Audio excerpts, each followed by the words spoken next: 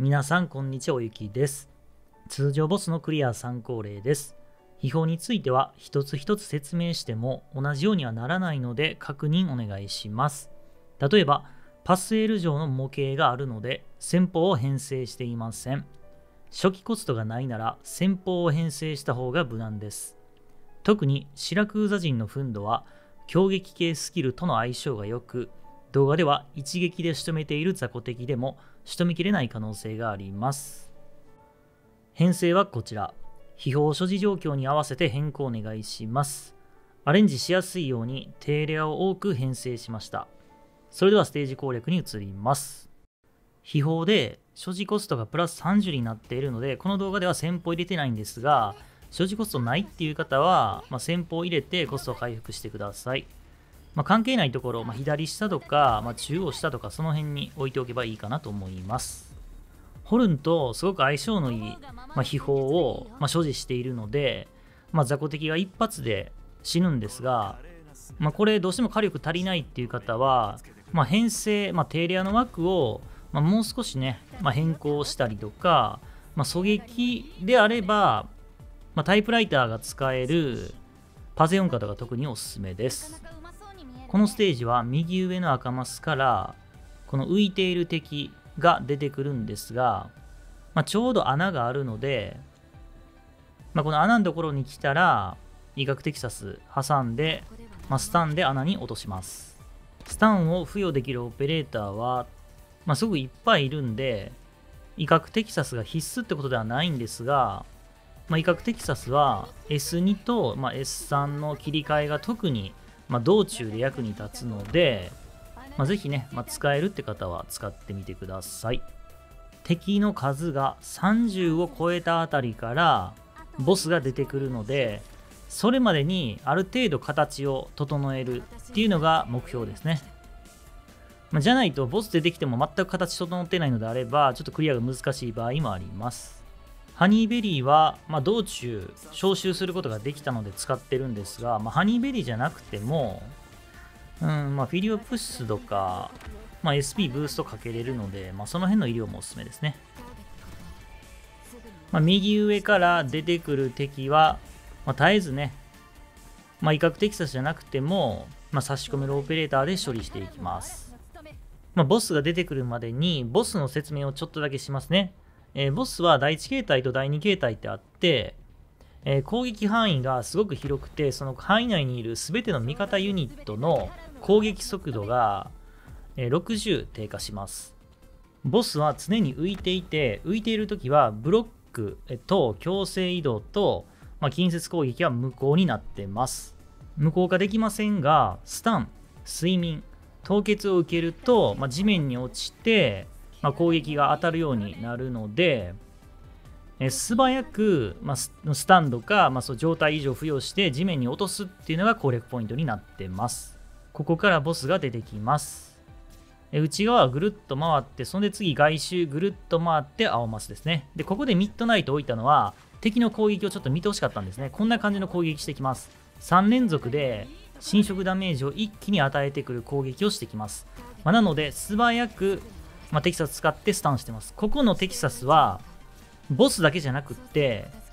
右上の赤マスの、まあ、この浮いている敵も一緒にスタンさせてるので、まあ、ここのタイミングはね、同じようにお願いします。ボスがムリナールの範囲に入ったらムリナール賃金山。えそして、え攻略ポイントあります。ここ、ボスの第一形態を終わらせないでください。終わらせる前に、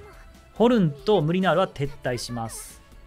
なんでそういうことをするのかというと、ムリナールとホルンを撤退しておいて、また別のルートに置き換えることで、第2形態が始まった瞬間に、まあ、スキルを、まあ、即発動することができます。まあ、あとは、まこういう魚を、ま先に処理しておくことで、まボスだけに集中できるっていうメリットもあります。もしこの状態でボスを第2形態にしてしまうと、ま攻撃範囲が3.5になって、範囲内にいる全ての味方ユニットの攻撃速度が80低下してしまうので、まあ、ボスはもちろんなんですが対策してないとこの雑魚的の魚ですら処理できないってことになってしまいます。ボスの第一形態をあえて持続させることでまあ、先にね雑魚敵処理してボスだけに集中する時間を作ります。今フィールド上にはボスだけなんですがぐるーっと回りますえそして攻撃してくるんですがこのハニーベリーちょっと見といてくださいね、まあ、どういう攻撃してくるのか。3回の複数攻撃で同時に侵食ダメージを与えながらすごく痛い攻撃をしてきます。この映像を見るだけで、まあ、このボスと戦うのは近距離オペレーターより遠距離攻撃で、まあ、一撃が重い、えオペレーターでやっていくっていう方が、ま簡単そうですよね。そしていい感じに時間稼ぎできているので、まあ、ホルンも帰ってきてますね。まあ、ホルンとムリナール帰ってきてるので、攻撃範囲外に行ったら、ホルンをこの位置に配置。そしてムリナールをこの位置に配置します。秘宝所持状況によっては、もう何回も言いたくないんですが、まあ、同じような火力が出せないってこともあるので、まあ、低レアの枠を、ま追加火力の枠として、ま、自分なりにアレンジしてみてください。はじめにパゼオンカがおすすめですって言いましたけど、まあ、大体もうなんでおすすめなのかって分かりますよね。やっぱタイプライター使いたいっていうようなボスかなと思います。えそしてこのまま放置してたら青マスに直行して耐久値30減らされるのでここで第1形態を終わらせます。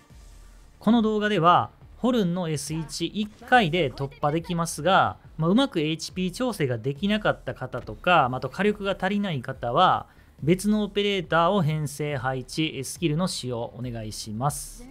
あムリナール以外のね。ムリナールは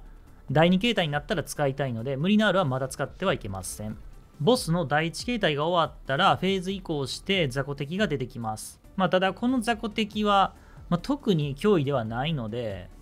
ボスを処理しながら雑魚敵も処理できるような配置にしてます。第2形態始まったらすぐに敵誘いって地面に落としてムリナールの賃金山で地面オペレーターでブロック追加火力は、まあ、ホルンの前の高台に右向きでパゼオンが置いて、まあ、あとタイプライターも置いちゃうみたいな、まあ、追加火力、まあ、すごいおすすめですね。ボス倒し終わったら、もうあとは雑魚敵だけなので、まあ、ゆっくり対応できるような難易度だと思います。はい、この浮いてる敵は落として、左ルートの敵は水木の S1 で素早く処理できます。まあ、これもね、まあ、秘宝によっては、まあ、一撃で倒せない場合もあるので、まあ、追加で医療とか返ってきてたら、まあ、医療を配置して回復してあげてください。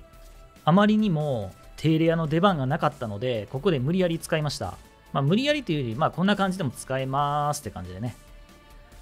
はい、この浮いている敵はテキサスで落とします。まあ、テキサスじゃなくても、まあ、他の状態以上付与できるオペレーターでも大丈夫です。はい、こんな感じで医療を置き直してますね。残りの魚は、オペレーターを置き直しているので、まあ、最後、青マスにまあ、行く前に、まあ、ムリナールの賃金山と、まあ、ホルンの S1 で処理することができます。ま、心配な方はブロック役とか、ま、配置しておけばいいかなと思います。ま、こうですね。まあ、倒せると思うんですが、まあ、心配な方は、まあ、カーディとかいるんでね、まあ、そういうの入れるのもいいかなと思います。水木のローグライクの続きの動画は、まあ、反響を見ながら、まあ、作るか作らないか考えたいと思います。やっぱりローグライクってランダム性が高いので、まあ、クリア参考例が思ったように、ま見てもらえないってこともあると思うので、まコメントとか、また評価とか再生数とかを見ながら、えー、どうするか考えていきたいと思います。ぜひね、何かありましたら、まコメントとかしてもらえると参考になります。それではこの動画終わります。最後までご視聴ありがとうございました。